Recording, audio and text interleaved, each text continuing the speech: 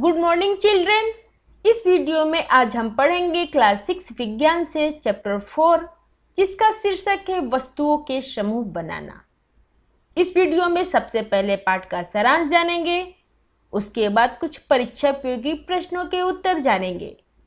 ये सीबीएसई पाठ्यक्रम पर आधारित है, जो एनसीईआरटी बुक से लिया गया है।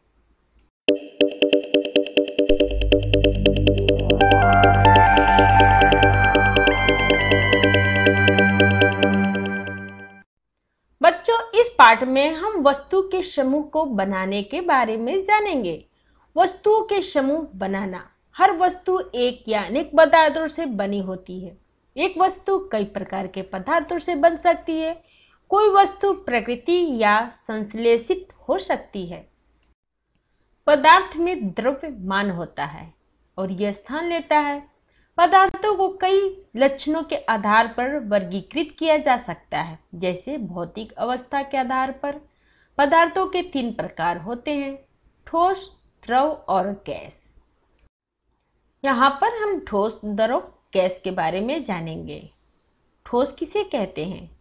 जिस पदार्थ के आकार और आयतन निश्चित होते हैं, उसे ठोस कहते हैं। उदाहरण, पत्थर, लकड़ी, प्लास्टिक, नमक, स्टील, बर्फ़। कांच इत्यादि। द्रव द्रव किसे कहते हैं? तो जिस पदार्थ का आयतन निश्चित होता है, लेकिन आकार अनिश्चित होता है, उसे हम द्रव कहते हैं। द्रव का आकार बर्तन के आकार का हो जाता है। एग्ज़ाम्पल है, पानी, तेल, दूध इत्यादि। गैस किसे कहते हैं? तो जिस पदार्थ के आयतन और आकार दोनों अनिश्चित होते हैं, उसे गैस कहते हैं। एग्ज़ाम्पल है ऑक्सीजन नाइट्रोजन कार्बन डाइऑक्साइड धुआँ इत्यादि। दिखावट के आधार पर पदार्थों के प्रकार अलग अलग पदार्थ दिखने में अलग अलग लगते हैं। किसी भी पदार्थ की दिखावट उसके रंग, कठोरता, गठन, चमक इत्यादि पर निर्भर करती है। दिखावट के आधार पर पदार्थों को निम्नलिखित प्रकारों में बांटा जा सकता है। कठोर या कोमल किसे कहते हैं? तो कुछ पदार्थ कठोर होते हैं तो कुछ मुलायम होते हैं। कठोर पदार्थ जिस पदार्थ को आसानी से संपीड़ित नहीं किया जा सकता हो, जिस पर आसानी से खोज नहीं लग सकती हो, उसे कठोर पदार्थ कहते हैं। एग्ज़ाम्पल है हीरा, पत्थर, लकड़ी, इस्पात इत्यादि। हीरा अब तक का ज्ञात प्राकृतिक पदार्थों में सर्वाधिक कठोर पदार्थ है। कोमल किसे कहते हैं? तो जिस पदार्थ को आसानी से संपीड़ित किया जा सकता हो और जिस पर आसानी से खरोंच लग सकती हो, उसे हम कोमल पदार्थ कहते हैं। एग्ज़ाम्पल है चौक, रुई, रबर इत्यादि। यहाँ हम जानेंगे विलय या अविलय के बारे में। तो विलय किसे कहते हैं? जो पदार्थ आसानी से पानी में घुल जाते हैं, उन्हें जल में विलय या घुलनशील कहते हैं। उदाहरण है, चीनी, नमक, फिटकिरी इत्यादि। चूँकि जल को सार्वभौमिक विलायक माना जाता है, इसलिए विलयता की परिभाषा में जल का उपयोग किया जाता है। अविलय किसे कहते हैं? तो जो पदार्थ पानी में नहीं घुल पाते हैं, उन्हें जल में अविलय या अघुलनशील कहते हैं। एग्ज़ाम्पल है, रेत, मिट्टी, चौक, चावल इत्यादि। पारदर्शी किसे कहते हैं? तो जिस पदार्थ से प्रकाश आसानी से गुजर जाता है, उसे हम पारदर्शी कहते हैं। पारदर्शी पदार्थ के आर पार साफ़ साफ़ देखा जा सकता है। एग्ज़ाम्पल है, कांच, पानी, हवा, प्लास्टिक की पतली सीट इत्यादि। अपारदर्शी किसे कहते हैं? तो जिस पदार्थ से प्रकाश नहीं गुजरता, उसे अपारदर्शी कहते हैं। अपारदर्शी पदार्थ के आर पर नहीं देखा जा सकता है। एग्ज़ाम्पल है लकड़ी लोहा। अब परिभाषी किसे कहते हैं? तो कुछ पदार्थों से प्रकाश आशंकी रूप से गुजरता है। ऐसे पदार्थ के आर पर धुंधला दिखाई पड़ता है। ऐसे पदार्थ को पारभाषी कहते हैं। एग्ज़ाम्पल है ट्रेसिंग पेपर, पतला पर्दा इत्यादि। धातु किसे कहते हैं? जो पदार्थ कठोर होता है, उष्मा और विद्युत का सुचालक होता है और जिसमें देती यानी चमक होती, उसे धातु कहते हैं। उदाहरण, लोहा, तांबा, सोना, चांदी आदि। और धातु किसे कहते हैं? तो जो पदार्थ भंगुर होता है, उष्मा और विद्युत का कुचालक होता है और जिसमें देती यानी चमक नहीं होती है, उसे अधातु कहते हैं। एग्ज़ाम्पल है लकड़ी, कोयला, प्लास्टिक इत्यादि। इस चैप्टर से पहला प्रश्न है, लकड़ी से बनाई जा सकने वाली पाँच वस्तुओं के नाम लिखिए। तो इसका आंसर है, लकड़ी से बनाई जा सकने वाली पाँच वस्तुएँ, खिड़की, दरवाज़ा, कुर्सी, मेज, बेड इत्यादि हैं। सेकंड प्रश्न है, निम्नलिखित में से चमकदार पदार्थों का चयन कीजिए। कांच की प्याली, प्लास्टिक का खिलौना, स्टील की चम्मच, सूती कमीज। तो इसका आंसर है, चमकदार पदार्थ, कांच की प्याली, स्टील का चम्मच।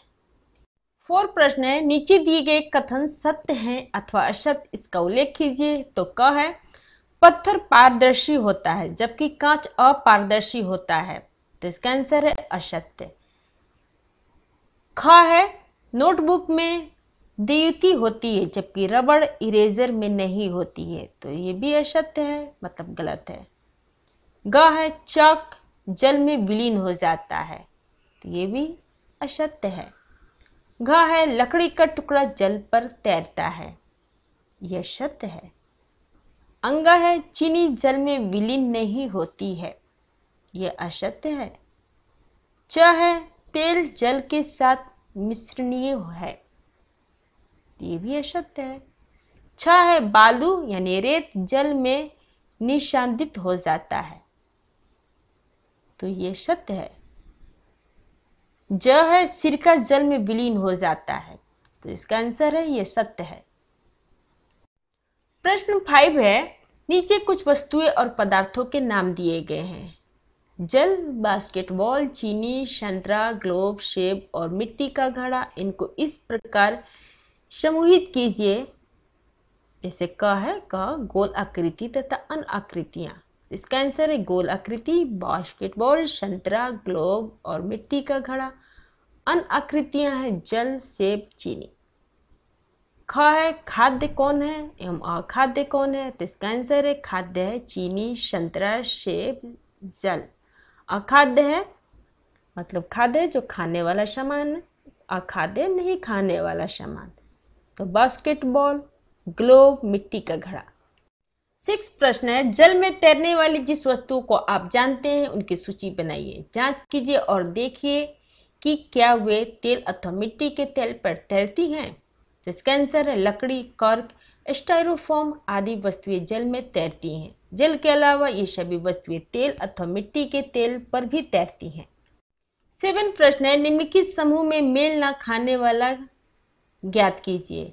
तो क है कुर्सी पलंग मेज बच्चा अलमारी तो इसका आंसर बच्चा, जो कि सजीव है, जबकि और सारी वस्तुएँ निर्जीव हैं।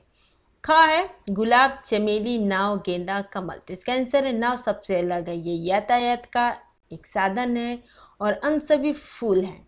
ग है एल्युमिनियम, आयरन, तांबा, चांदी, रेत। इसका आंसर है रेत। यह अधातु है और सभी धातु हैं। घ है चीनी, नमक, रेत, कॉपर, सल्फेट। तो इसका आंसर है, रेत यह पानी में अविलय है और सभी का पानी में विलय हो जाता है। एट प्रश्न है, धातु किसे कहते हैं? तो इसका आंसर है, जो पदार्थ कठोर और चमकीले होते हैं तथा ताप अथवा विद्युत चालक होते हैं, उसे धातु कहते हैं। नाइन प्रश्न है, विलय किसे कहते हैं? तो इसका आंसर जो पदार्थ जल में पूर्णतः विलीन हो जाए, उसे विलय कहते हैं, जैसे चीनी नमक। टेंथ प्रश्न है अविलय किसे कहते हैं? तो इसका आंसर है, जो पदार्थ जल में मिश्रित नहीं हो पाता है, उसे अविलय कहते हैं। जैसे बालू लकड़ी के बुरादे। इलेवेंथ प्रश्न है, पारदर्शी पदार्थ किसे कहते हैं? तो इसका आंसर है, जिन पदार्थों से होकर वस्तुओं को देखा जा सकता है, उन्हें पारदर्शी पदार्थ कहते हैं, जैसे कांच, जल, वायु इत्यादि। ट्वेल्व प्रश्न है, अपारदर्शी पदार्थ किसे कहते हैं? तो इसका आंसर जिन पदार्थों से होकर वस्तुओं को देखा नहीं जा सकता है, उन्हें अपारदर्शी पदार्थ कहते हैं, जैसे लकड़ी, गत्ता, धातु इत्यादि। थर्टीन प्रश्न है, परभाषी पदार्थ किसे कहते हैं? तो इसका आंसर है जिन पदार्थों से होकर वस्तुओं को स्पष्ट रूप से नहीं देखा जा सकता, उसे परभाषी पदार्थ कहते हैं।